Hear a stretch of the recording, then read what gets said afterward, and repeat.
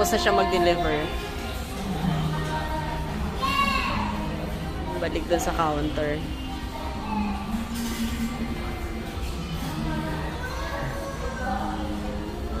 Talaga siya sa. Oo nga eh, galing eh. Lagyan mo kaya ng isang obstruction, pati mo ka ba? Uminto siya eh, kanina. Gusto din na natin. Ah.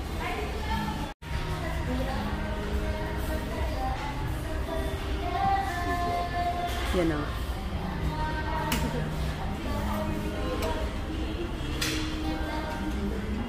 Yan na nga yung order natin. Yan na si Jollibot. De-deliver na ang aming order. Hi, here's your meal. Please Oh. get your tray.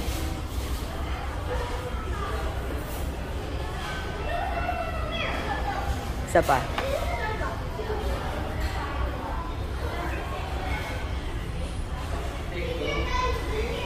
Then, lagay mo yung ano, yan. Lagay mo. Oh, nag-thank you pa siya. Magalang tong robot na to. Balik na siya doon sa lu- lugar niya. Iniiwasan niya talaga yung mga obstruction.